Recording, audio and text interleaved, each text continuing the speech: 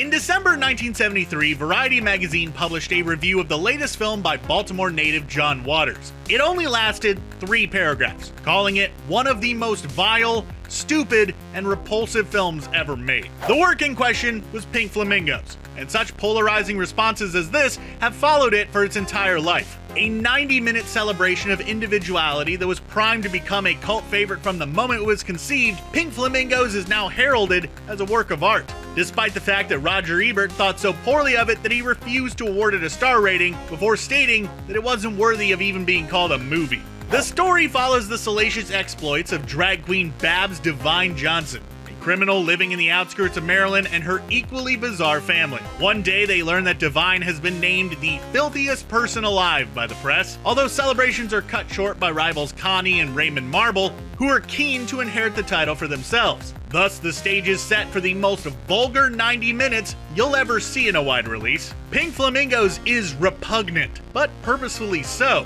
Like its protagonist, this is a film that exists on the fringes, mocking conventional society and traditional values with a transgressive take on culture, sexuality, and gender. So it's easy to understand why people such as Roger Ebert weren't exactly big fans. Ebert may have actually loathed Pink Flamingos, but he didn't loathe John Waters. The critic actually gave his iconic thumbs up to later Waters films like Hairspray and Crybaby, both of which saw the director making a successful transition to mainstream cinema with only minimal adjustments to his trademark style. Now, Pink Flamingos would never have been Ebert's choice for, you know, a good movie, especially since he didn't even really consider it a movie. But that's fine. No critic should like everything.